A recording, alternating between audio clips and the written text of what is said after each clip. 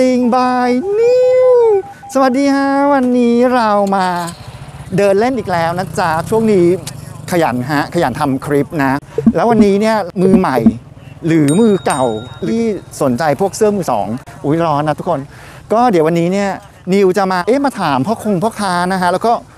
นักช้อปปิ้งทั้งหลายนะเขามีคำศัพท์อะไรที่เกี่ยวกับคนเล่นเสื้อมือสองนะฮะ เดี๋ยวดูสิว่ามีคำศัพท์อะไรเด็ดเด็ดๆวรีโดนโดน action ๆเราเรามาร้านเดิมเจ้าเดิมนะจ๊ะที่คลองถมตลาดไทย มา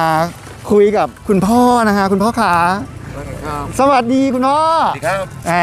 วันนี้แวะแวะมาหน่อยคำศัพท์คำศัพท์มีคำศัพท์อะไรบ้างมา ที่เวลาคนเล่นเสื้อมือสองคนเปิดกระสอบเขาต้องพูดกันน่ะใครดวงดีมีกินต่อรวยแน่อะมามาถึงกับแบบคุณลูกหน่อยคุณลูกบ่ไหวบ่ไหวครับแพงโพดโอเคอะรู้เรื่องแค่นี้แหละแหมเราเจอเด็ก สวัสดีน้อง สวัสดีครับมีมีมีคำศัพท์อะไรเด็ดเด็ดๆมาคำศัพท์เหรอครับคำศัพท์คำศัพท์ก็ถ้าได้เสื้อแบบว่าหลุดๆเนาะก็จะเป็นลั่นท่วมอะไรอย่างเงี้ยครับลั่นท่วมอะไรอย่างเงี้ยครับ อ๋อโอเคลั่นก็ลั่นนี้ใช่ คือถ้าสมมติว่าเป็นเป็นประโยคเขาแปลว่าอะไรครับ ได้มาราคาถูกแบบว่าได้ ขายได้กำไรเยอะประมาณโอเคซื้อตัวละ20แล้วไม่ขาย5 600อะไรประมาณนี้ครับพี่ก็จะ เนี่ยแหละครับนี่คือท่วม ใช่โอ้โหนะ ครับโอเค แล้วนี่มามาซื้อของร้านพี่ก้าวไปทำอะไรฮะ ก็มีขายต่อด้วยครับ แล้วก็เอาไปใส่อ๋อเหรอประมาณนี้ครับขายต่อนี่คือยังไงครับเอาเอาเอาไปใส่ก่อน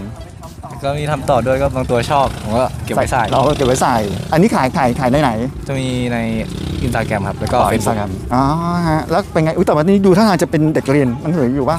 ก็เรียนเรียนอยู่คบ เรายังเรียนอยู่อยู่ อยู่อยู่อยู่มหกระดับครับ อ๋อมหกเองโอ้โหมหกขายขายได้กี่ล้านละโอ้โหยังไม่ถึงนะครับอ๋อจริงเหรอแล้วกำไรสุดได้กี่บาท เดือนหนึ่งเดือนหนึ่งเดือนหนึ่งได้กี่บาทเนี่ย ผมขายกี่หลัก ถ้าชุดหนึ่งก็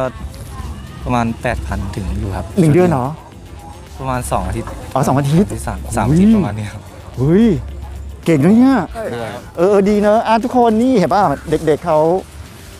ททำได้จริงใช่ไหมใช่ครับ อย่าลืมติดตามช่องพี่ด้วยนะผมก็เห็นพี่เปิดกระสอบอยู่มั่งมีมีมีคำศัพท์อะไรแบบโดนๆเด็ดๆมั่งเล่นผ้าบางก็ต้องหาเรียกแบบบางเจี๊ยบอะครับมาเจอแบบผ้าบางไหนขอดูขอดูหน่อยบางนี้เลยพี่อ๋อผ้าบางอย่างนี้เลยใช่ไหมต้องเห็นเนื้อเลยใช่ป่ะเห็นเนื้อหน่อยอ่าบางเจี๊ยบโอเคสำหรับมุมมองผมอะจะเรียกว่าการทำผ้าครับอ่าฮะในที่นี้หมายถึงว่าการที่ผมไปหาแหล่งเสื้อยืดของผมนะครับ ก็คือไปการเปิดกระสอบคัดผ้าเนี่ยแหละอืมก็จะคอยบอกลูกค้าว่าเอออาทิตย์หน้าผมลงของใหม่นะเดี๋ยวผมไปทำผ้าก่อนอาทิตย์นี้ คำศัพท์มีคำศัพท์อะไรโดนโดนโดนๆมั่งอยากดังขายหัวอยากรวยขายหางครับ น่าจะสรุปได้ว่าก็นะอยากดังขายหวยหัว อยากรวยต้องขายหางอะแต่มันก็จริงนะ เพราะว่าหางมันแบบปล่อยปล่อยปล่อยง่ายเนาะอะขอบคุณมากนะฮะสวัสดีครับอะไปต่อกันเลยครับยังไงครับ ครับสวัสดีครับ อ่าฮะ ว่าจะเป็นแบบ ถ้าขายเสื้อแบบได้ราคาเต็มผมก็จะเต็มกราฟเต็มกราฟก็คือขายได้ราคาเต็ม อ่าฮะ โอ้โห อันนี้ก็น่าสนใจอยู่นะฮะครับ แบบเสื้อเสื้ออะไรครับเนี่ย เสื้ออะไรเนี่ย อ่าอีวานกิเลียนครับลิลิสใครสนใจสนใจมาได้นะครับตึกแดงชั้นสามครับ B หนึ่งห้าหกอ่ามาเลยฮะคนนี้ยังไงบ้างอันของผมก็จะเป็นสาธุ99 สาธุเก้าใช่ครับ คือยังไงครับ ความหมาย ก็เหมือนเวลาขายของได้อะไรก็สาธุ99วันนี้แต่งตัวหล่อนะเอ้ยอะเดี๋ยวเราไปต่อกันนะฮะคำสั่งผมนะครับ ต่อราคาไม่เอาฟันหน้าเลยนะครับ หมายความว่าอะไรเนี่ยหมายความว่าต่อราคาเยอะต่อราคาแบบว่าเกินเกินไปอะครับอ๋อต่อเกินไปต่อเกินไปแบบว่าวอนนะครับวอนกับพ่อค้าอย่างเงี้ยอะอะไปต่อได้ยังได้ยังร้านเดียวกันนะครับอ๋ออะไรเงี้ยล็อกล็อกกันไม่ได้ผมไม่มี มาเจอครับหนุ่มน้ำมนต์คนนอนน้อยปกติครับตัวผมผมใช้ว่าถ้าเราเล่นของในแบรนด์นะครับผมขออนุญาตของแท้ไม่ถูกของถูกไม่แพงถ้าของแรงจริงอะมันไม่ถูกหรอกแต่ถ้าต้องการของถูกอะก็ไม่ได้ครับนี่จะมีงานมีครับอะไรบ้างครับงานวินเทจคอลเลกเตอร์ไทยแลนด์ EP 2อ่าที่จังหวัดเพชรบุรีวันที่ 4 5 มีนาคมครับ เขาบอกว่าจะต้องมีคำศัพท์เด็ดเด็ดโดนโดน มาเลยครับ สวัสดีครับ สวัสดีครับผมยังไงครับ มีคำศัพท์อะไรเด็ดเด็ดโดนโดนบ้างไหมฮะสำหรับคนเล่นเสื้อ ตรงยุคแล้วกันครับ ตรงยุคตรงยุค หมายความว่าอะไรเอ่ย ตรงยุคหมายความว่าเสื้อตรงยุคในในฐานฐานที่เขาผลิตในในตรงยุคนั้นเลย อ่า คือเสื้อ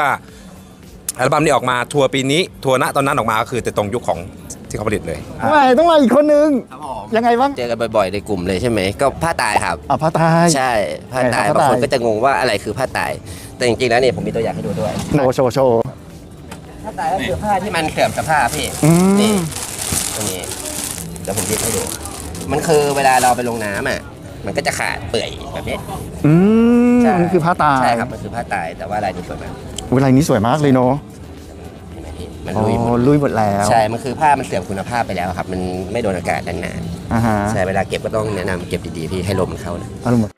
โอเค เรามาหาคำศัพท์กันอีกนะฮะ สวัสดีครับสวัสดีครับ คำศัพท์มีคำศัพท์อะไรเด็ดๆโดนๆบ้างสำหรับค้าขาย ถ้าค้าขายก็ก็มีอย่างถ้าสมมติว่า เราไปขอซื้อเสื้อแล้วแบบว่าราคามันมันแพงเกินไปอะไรอย่างเงี้ยครับ ก็ถ้าเป็นในวงการเขาก็จะเรียกกันแบบโอ้โหขายไม่เอาพวกเลยอะไรอย่างเงี้ยครับอ่า ขายไม่เอาพวกเลยอะไรส่วนใหญ่ก็จะแบบเน้นเอาไว้แซวกันเองพี่แบบพ่อค้าแซวกันแบบของแท้ยังไงมันก็แท้ฮะของแท้ยังไงมันก็แท้ใช่ครับใช่ครับ ตอนนี้มาอยู่ที่ตลาดนกฮูกแล้วนะจ๊ะแล้วเราก็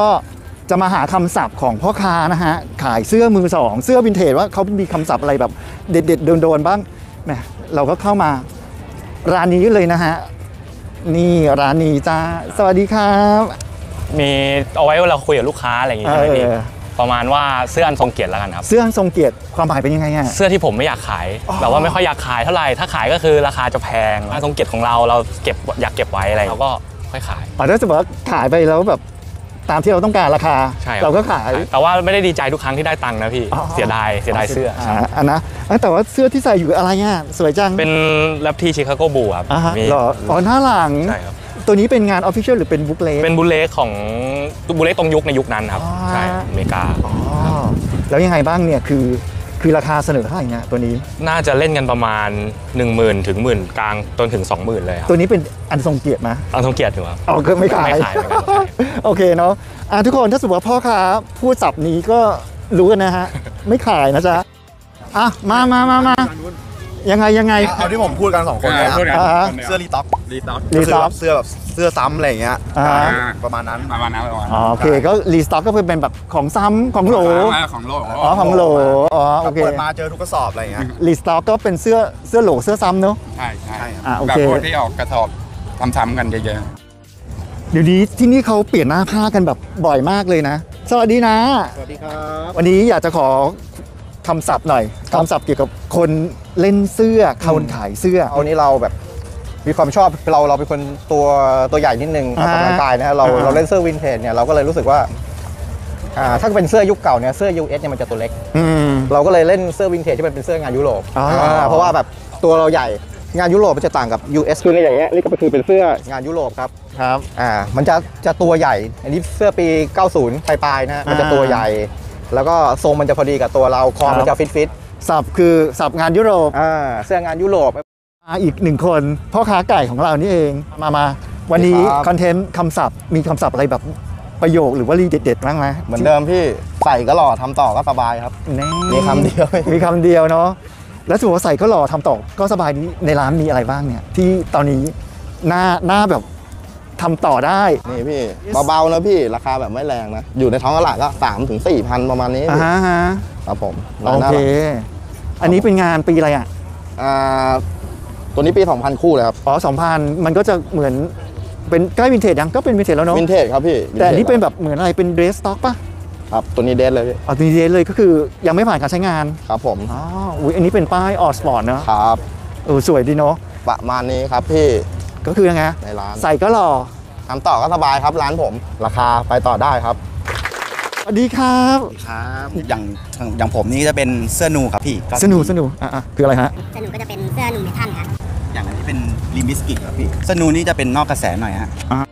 สวัสดีค่ะมาสวัสดีฮะก็แหมมาดู item หน้าผ้าร้านนี้ก็จะเป็นแบบคุณผู้หญิงผู้หญิงวินเทจเป็นวินเทจทั้งนั้นค่ะ จะเป็นอ่ายุคตั้งแต่อือฮึ60 ถึง 90 แล้วก็มีแซมปี 2000ก็คือเป็น Y2K Y2K อ่าอืมกำลังกำลังเป็นอิงานนกระแสกำลังอิน Y2K เนาะใช่ค่ะ มาละวันนี้คอนเทนต์เกี่ยวกับเรื่องคำศัพท์ ส่วนใหญ่คำศัพท์คำศัพท์ที่ก็ร้านจะใช้อะไรฮะ ก็จะเป็นส่วนมากจะขายงานแลๆอ่านะขายงานก็แลอ่าส่วนมากก็จะเป็นใช้คำว่าท่วมด้วยคำว่าแลด้วย ก็เลยกลายมาเป็นแลไอท่วมค่ะแลไอท่วมท่วมมาจากคืออ่าๆๆคือขายดีแล้วพายเรือกลับบ้านค่ะพี่น้ำท่วมซอยผลประกอบการดีเลอค่าเลอค่านะวันนะคะพี่อยู่นกฮูกนะคะ อยู่ตรงร้านนกฮูกอยู่โซนคลองถมนะคะ ใครแวะผ่านมาทางนี้อะมาเจอกันได้นะคะ ก็เรียบร้อยนะครับ ขอปิดคลิปคำศัพท์นะฮะที่นิวแบบกำลังอิน ตัวตึงร้านนี้